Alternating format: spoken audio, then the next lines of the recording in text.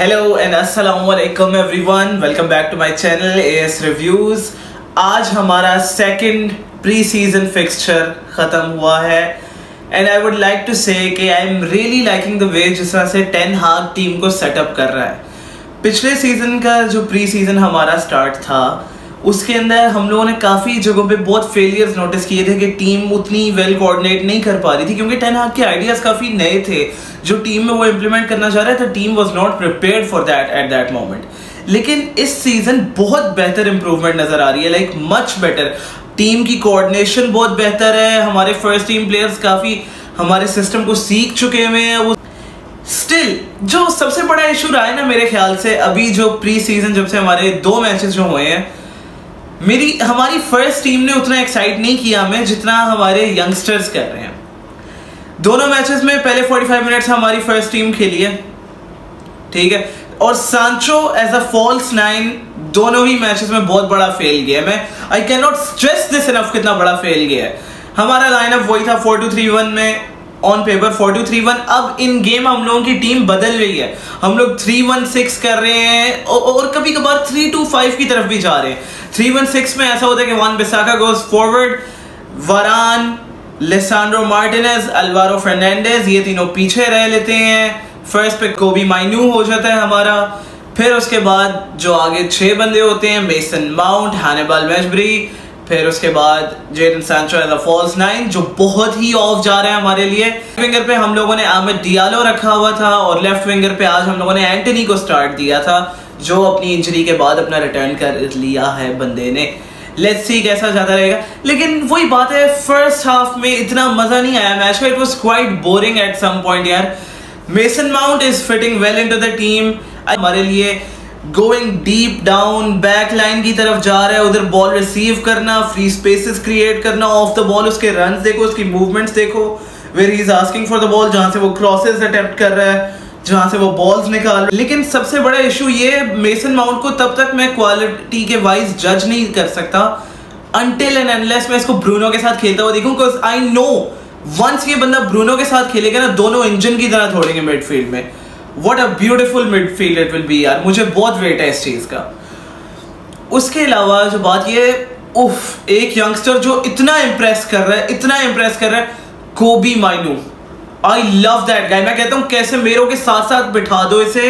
He really needs to learn from Casemiro बंदे की strength भी इतनी अच्छी है। परफेक्टली वो रोल प्ले कर रहे हैं यार उसकी मूवमेंट चेक किया करो so quick with the ball at his feet brilliant बंदा बॉल को आगे भी ले जाता है। He knows how to attack with the ball उसको पता है कहाँ से मैंने पासेस निकालने he. Knows how to hold off the ball holding midfielder वाला काम इसने जो हमारी मिडफील्ड में भी किया हुआ है ना what a beautiful youngster he मैं कहता हूँ he can learn a lot एक अंडर स्टडी बना दो इसे कैसे मेरो की and right now is the best time for it बाद में ये मौका नहीं मिलेगा Kobbie Mainoo is brilliant apart from that Hannibal Mejbri I think even that guy is ready to break into the first team Hannibal Mejbri में बहुत talent है. His positioning his passing I can not praise that guy well enough he is brilliant apart from that Amad Diallo का तो हम लोग सारे ही hype थे यार। वी ऑल न्यू कि Amad Diallo is a player जो हम लोग चाहते हैं जिसको टाइम मिले। So we all know Amad Diallo is brilliant although there are lot of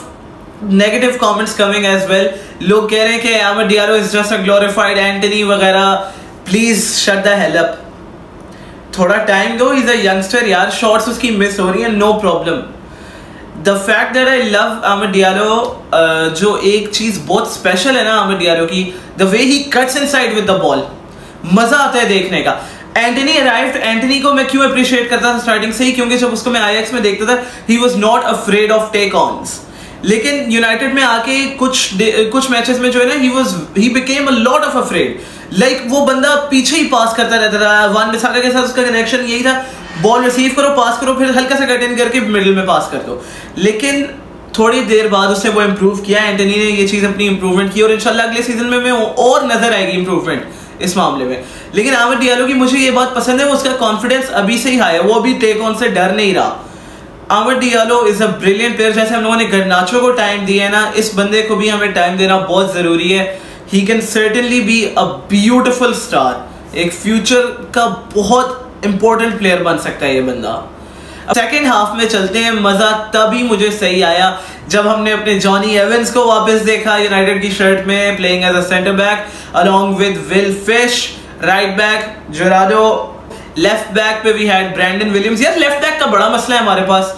Luke Shaw भी है हमारे पास हमारे पास टेरल मलासिया भी है, हमारे पास अलवारो फर्नांडिस भी है, ब्रैंडन विलियम्स भी है। चारों बहुत अच्छे लेफ़्ट बैक्स हैं। लेकिन आई थिंक प्रायोरिटी अभी लूक शो और टेरल मलासिया को ही मिलेगी। उसके बाद भी आई थिंक अलवारो फर्नांडिस पहले आता है बिफोर ब्रैंडन विलियम्स। तो चलते हैं आगे की लाइनअप पे।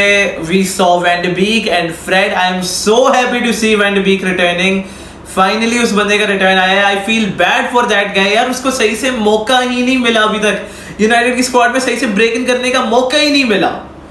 पहले मैनेजर्स का भी इशू था they did not trust him enough और ऊपर से बात ये है, अब जब टेन हाग आया था, ये जनवरी में इंजर हो गया था, बहुत ही लंबा। आई होप इस सीज़न हम लोग रख लें। अगर मतलब रख सकते हैं तो रख लें। आई डो नॉट माइंड एक सीज़न अंडर टेन हाग इसको हम चांस दे दें to see what is quality actually is क्योंकि इफ़ ही परफॉर्म्स वेल तो ज़रूर यार व्हाई नॉट अगर वैंडबीक हमें पुराना आयक्स वाला नज़र आ जाता है व्हाई नॉट मैं तो कहता हूँ, रहे ही हमारी स्क्वाड में। उसके अलावा मैकटोमिने जिसको हमें बेचना चाहिए, उसको हम नहीं बेच रहे। We are looking for offers for Fred Fred मैं नहीं चाहता हम बेचे येट हम चाह रहे हैं कि फ्रेड बेच दें। It is impossible to understand हो क्या रहा है।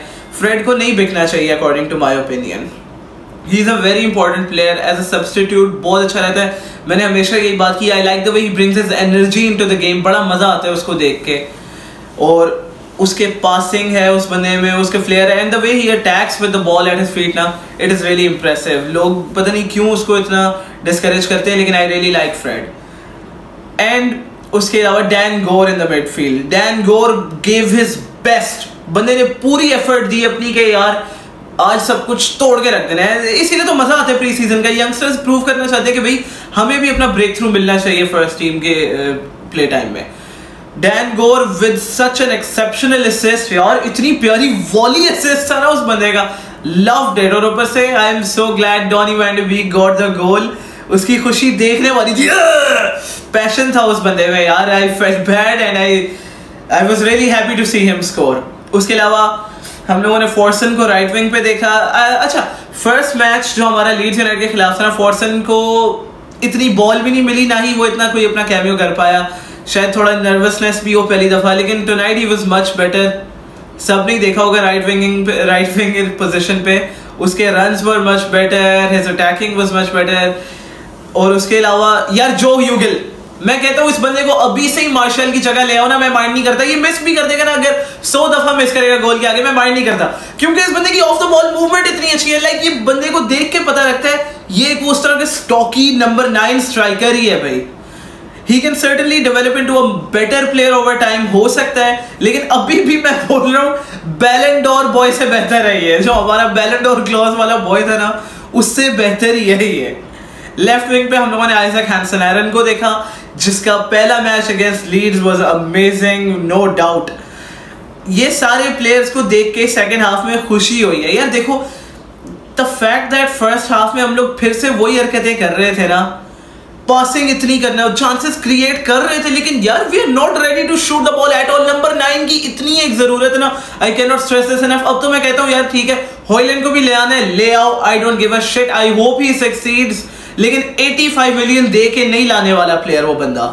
I hope he has that potential जो टेन हाग उसमें देख रहा है। मैं चाहता हूँ वो सक्सीड करे। And we do need a number nine पहले हाफ़ में फिर से वही हुआ है यार। Sancho the false nine I don't know what the fish is he doing क्या कर रहा है वो बंदा? आके हम लोग जब भी बॉक्स के अंदर पहुँचेंगे ना we just keep passing the ball around हमें पता ही नहीं है कि यार फिनिश करना है। पासिंग करी जा रहे हैं और वो भी गंदे गंदे पास कर रहे हैं। लाइक बॉक्स के अंदर घुस के आप इस तरह से पासिंग करो और अटेम्प्ट ना लो ना इट इज़ एम्बेरसिंग हम लोगों के पहले छह मिनट में ही दो ऐसे इतने क्लियर कट चांसेस थे ना we should have been two nil और at least one nil ahead बहुत डिसअपॉइंटिंग बात थी है कि हम लोगों ने फोर्टी नाइन्थ मिनट पे जाके वन निल की है और अब वन निल ही एंड हुआ है। We really do need a number nine अब नेक्स्ट हमारा प्री सीज़न फिक्सचर आ रहा है अगेंस्ट आर्सनल वो भी एक्साइटिंग होगा। लेट्स सी ओनाना जो हमारा नया कीपर है, वो उसमें आता है कि नहीं? According to Fabrizio Romano Hojlund के साथ हमारे पर्सनल टर्म्स एग्रीड है। That guy is a Manchester United fan boy वो बंदा डेस्परेट है हमें ज्वाइन करने के लिए। भाई पुल है हमारे क्लब का विदाउट अ डाउट है। टेक ओवर होना नहीं है, ये हम सबको पता है। ड्रामा लगा दिया हुआ उन्होंने टेक ओवर तो नहीं होता। चाहे हमारे घटिया ऑनर्स हो, हमारा पुल है। Majority players are ready to sign for us लेकिन let me remind you something United overpay नहीं करना हॉयलैंड के लिए 85 मिलियन नहीं बनता देना। नहीं बनता देना। फाइंड अ वर्क अराउंड लेकिन 85 मिलियन नहीं देने। Let's see what happens next guys